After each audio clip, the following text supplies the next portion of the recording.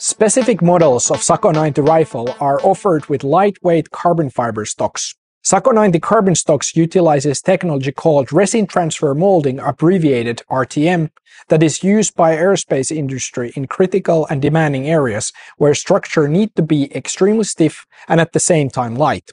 Sako RTM technology uses precisely machined molds and vacuum technology to get the resin and carbon filaments bond to create a multi-layer 3D mesh structure that goes every direction around the stock. This technology provides a solid foundation for the stock to handle all recoil forces. Woven carbon mesh together with the high-tech porous internal structure reduces recoil forces so that even a light rifle is comfortable to shoot.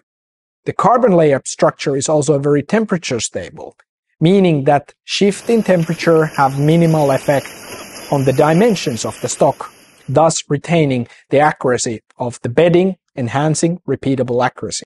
Sako RTM technology provides a construction that is fully enclosed and supported internally, forming a very rigid structure with stiff outer shell, but without the hollowness and the sound signature of older carbon technologies. Benefits are creation of an ultra-robust, lightweight stock with low noise signature perfected for most demanding hunting situation. Sako RTM is tailored technology for any type of hunting where the rifle need to be carried in varying altitudes to varying weather.